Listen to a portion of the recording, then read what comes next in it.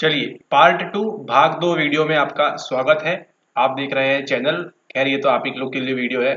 तो which of the following is not last video में हमने 10-15 सवाल देख लिए थे। 15 सवाल अप्रोक्सीमेटली वहाँ पे, जो आप वहाँ पे प्रॉपर रिविजन से और डायरेक्ट वीडियो से आप उसको सॉल्व कर सकते थे। अब आगे देखिए, सत्रहवा प्रश्न आपके लिए कुछ उसी प्रकार से। Which of the following is not a risk factor for hypertension obesity atherosclerosis multiple sclerosis exposure to stress यहाँ पे देखिए, उच्च रक्तपात, है ना? उच्च रक्तपात तनाव के लिए निम्नलिखित में से कौन एक जोखिम कारक नहीं है पूछा जा रहा है आपसे, ठीक है? यानी कि आपका उच्च रक्तपात के लिए, यानी आपकी हाइपर टेंशन के लिए, आपको टेंशन होती है, आपको चिंता होती है है ना? और वो जब बहुत ज़्यादा बढ़ जाए हाइपर टेंशन तो आप क्या जाते हैं? आप स्ट्रेस के अंदर जाते हैं, ठीक है? तो निम्नलिखित में से कौन एक जोखिम कारक नहीं है? मोटापा आप जानते हैं, संबंधित है किससे आप स्ट्रेस से संबंधित है, ठीक है? आपका एथेरोस्क्लेरोसिस चलिए आपको नहीं मालूम, तनाव से उद्भासन, यहाँ पे देखिए, ये भी आपका तनाव से संबंधित है मतलब ये भी कारक होगा आपके उच्च रक्तपात के लिए, ठीक है? लेकिन यहाँ पे देखिए, आपने एक चीज़ देख रहे हैं, बहुल स्क्लेरोसिस यानी कि आपका मल्टीपल स्क्लेरोसिस आपने यूनिट फोर देखिए, कैसे जोड़ी उन्होंने यहाँ से यूनिट फोर आपकी जोड़ दी कहाँ से, आपके स्ट्रेस एंड हेल्थ वाले फैक्टर से। ठीक है? तो उन्होंने थोड़ा सा घुमा दिया, लेकिन आपने वीडियोस देखे हुए थे तो आपको दिक्कत नहीं होनी चाहिए। आपने एक पूरा लेक्चर डेडिकेटेड पढ़ा मल्टीपल स्क्लेरोसिस के ऊपर बहुल स्क्लेरोसिस के ऊपर। आपने वहाँ कभी भी टेंशन की बात सुनी कि आपने कभी वहाँ पे, कि आप स्ट्रेस होता है या टेंशन वहाँ पे, रक्तपात की बात आपने कभी भी सुनी क्या वहाँ पे? नहीं सुनी तो आपको किसके साथ जाना चाहिए था? आपको इसी के साथ जाना चाहिए था बहुल स्क्लेरोसिस के साथ। ऑप्शन नंबर थ्री आप आराम से यहाँ पे देखिए, जिसकी बच्चे की मार्कशीट है, उन्होंने मार्क किया है, और ये आंसर सही भी हुआ है। ठीक है? तो सीधा सीधा आपको ये मालूम है, ये मालूम है, ठीक है? ये नहीं मालूम, चलिए मान के चलते हैं लेकिन आपको ये तो मालूम था कि आपने मल्टीपल स्क्लेरोसिस पढ़ा है बहुल स्क्लेरोसिस के बारे में पढ़ा है, कि आपकी जो माइलिन शीट है वो डैमेज हो जाती है, वो सारी चीज़ें होती है। तब क्या करना है आपको? वहाँ कभी भी हमने इस उच्च रक्तपात या हाइपर की बात हमने कभी भी नहीं सुनी वहाँ पे। तो आप इन तीनों में से बाकी क्यों मार्क करेंगे? ऑप्शन नंबर थ्री मार्क करते, आराम से आपको ये सवाल मिल जाता यहाँ से, ठीक है? चलिए, अब चलते हैं अगला सवाल। ये देखिए, अगला सवाल सेम सवाल आपको 2021 में पूछा गया था। 2021 में भी पूछा गया था और यहाँ पे आपको रिपीट कर दिया गया है वो सवाल। सवाल रिपीट नहीं हुआ उसका ऑप्शन प्राइमरी प्रिवेंशन प्राथमिक निवारण द्वितीय निवारण तृतीय निवारण और संरक्षण निवारण। प्रोटेक्शन प्रिवेंशन क्या होता है? ठीक है, ये तीन आपने पढ़ा था कहाँ से? आपने 2021 की सीरीज़ सॉल्व की थी। वहाँ से आपको सीधे सीधे बनना चाहिए था ये सवाल। ठीक है, लेकिन आप लोग देखेंगे कहाँ ध्यान से। Actions taken to identify and treat an illness or injury early with an aim of stopping or reversing comes under. किसी बीमारी या चोट की पहचान और उपचार के लिए समस्या को रोकने या उत्क्रमित करने के उद्देश्य के समय पर की जाने वाली कार्यवाही निम्न के अंतर्गत आएगी। क्या होगा ये? ये सिंपल सा आपका क्या होता है? सेकेंडरी प्रिवेंशन होता है, यानी कि द्वितीय निवारण होता है। वहाँ पे आपको प्राइमरी प्रिवेंशन टर्शरी प्रिवेंशन और secondary prevention one two three तीनों आपको काफ़ी डिटेल में अच्छे से समझाया हुआ था। अगर आपने वन और थ्री या फोर कुछ भी मार्क किया है तो ये गलत बात है। इसका आप ध्यान रखेंगे आगे से कि जो चीज़ बताई जा रही है, वह पूछी जा, पूछी भी जा रही है तो उसी को ही आपको मार्क करना है। ठीक है? ओके अब चलते हैं अगले सवाल के ऊपर। ये भी देखिए डायरेक्टली आपको सॉल्व हो रहा है पीवाईक्यू सीरीज़ से। ठीक है? डायरेक्ट सवाल आपको मिल रहा है। लास्ट टाइम प्राइमरी पूछा था, इस बार उन्होंने सेकेंडरी पूछ लिया है। यहाँ पे देखिए, अगला सवाल सीधा सीधा सवाल उठ के पूछा है आपसे। अगर ये भी आप लोग गलत कर रहे हैं तो कैसे पढ़ रहे हैं आप लोग? मार्टिन सेलिंगमैन ने प्रामाणिक आनंद और कल्याण का एक सिद्धांत दिया, जिसमें पाँच तत्व है। हज़ार बार आपको गा के बताया है, ठीक है, ये मॉडल की बात होती है। निम्नलिखित सेलिंगमैन के सिद्धांत में नहीं आता है, ठीक है कौन कौन सा नहीं आता? Positive emotion meaning that defiance authentic happiness resilience या फिर अकम्पलिशमेंट ठीक है, यहाँ पे आपका सकारात्मक भावना फिर आपका समुत्थान शक्ति रेजिलियंस पूछ रहा है यहाँ पे, उपलब्धि और आपका प्रामाणिक आनंद को परिभाषित करने वाला अर्थ। आराम से आपको दिखाया था P E R M A PERMA model की बात करते हैं मास्टर बोल रहे हैं। मार्टिन सेलिगमैन उसमें से कौन सा नहीं है आपका? रेजिलियंस नहीं था उसमें। आपको केवल ये बोला था कि इसका अर्थ याद कर लीजिए, इसका अर्थ याद कर लीजिए, इसका अर्थ मतलब इसको क्या बोलते हैं? इसको केवल इतना आपको याद करना था रेजिलियंस आप बड़े ही आराम से इसको मार्क कर सकते थे, लोगों ने किया भी हुआ है। अगर आपने इसको गलत मार्क किया है तो अच्छे से रिविजन करिए और जो बोला जा रहा है केवल उतना ही करिए अच्छे से। समुत्थान शक्ति रेजिलियंस की यहाँ पे बात हो रही है। ठीक है? तो लगभग अभी तक हमने देख लिया है, बीस सवाल आपके सीधे सीधे आपके इन वीडियो एंड पीवाईक्यू सीरीज़ से ये सॉल्व हो रहे हैं। ठीक है? अगर आपने इनमें से कुछ भी गलत किया है, इसका मतलब ये है कि आपको अच्छे से रिवाइज करना है चीज़ों को। ठीक है? परमा का सिंबल बताया है, वो पूछा गया। ठीक है? तो आर इसका आंसर है रेजिडेंस समुत्थान शक्ति की बात यहाँ पे नहीं आता है, पूछ रहे हैं। ठीक है? ओके अब चलते हैं अगले सवाल के ऊपर। यहाँ पे देखिए, अब ये अगला सवाल।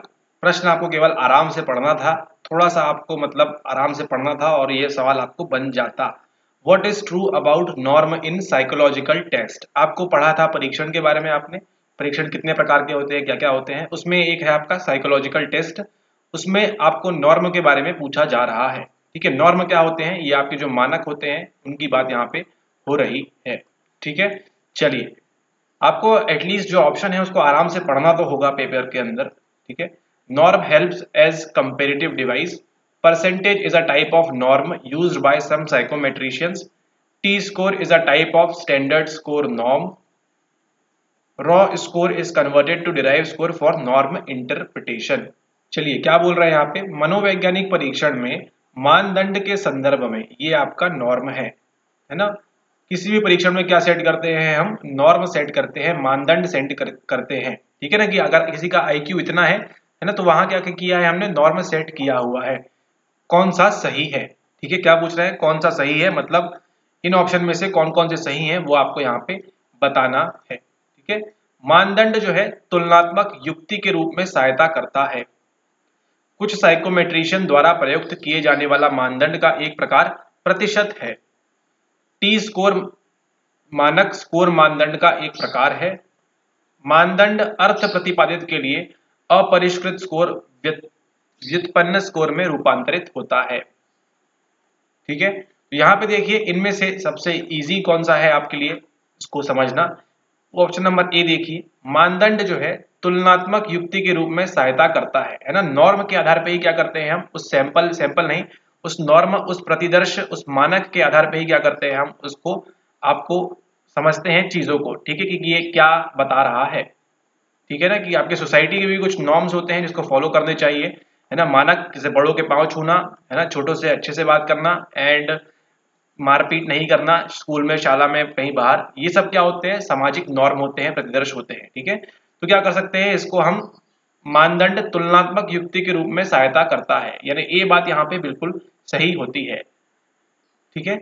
ये सही गया तो आपका देखिए वन टू थ्री फोर में से चारों में से कुछ भी सही हो सकता है। चलिए, और आगे देखते हैं। ये देखिए आपने टी स्कोर सुना है आपने जेड स्कोर सुना है, और आपने स्टेन स्कोर सुना है, और आपने स्टेनाइन स्कोर सुना था। ये सब क्या है? जेड स्कोर स्टेन स्कोर ये सब क्या है? एक प्रकार के मानक है।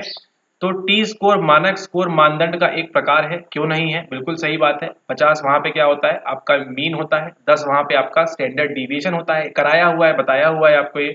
ठीक है ना? मानक स्कोर एक प्रकार है। Z score sten score stanine score तो टी स्कोर जो है, मानक स्कोर मानदंड का एक प्रकार है। बिल्कुल सही बात है। यानी ए और सी जाएगा साथ में। ए और सी तो ये आ गया आपका आंसर। ठीक है, इनमें से कुछ भी नहीं होगा। ए और सी अगर आपको इतना मालूम पड़ गया तो आप सही आंसर तक पहुँच चुके थे। ये आपका सही आंसर है ऑप्शन नंबर थ्री केवल ए सी डी डी क्या है? मानदंड अर्थ प्रतिपादित के लिए अपरिष्कृत। इतना टफ हो रहा है तो थोड़ा सा इंग्लिश में देख लेना चाहिए आपको भी, है ना?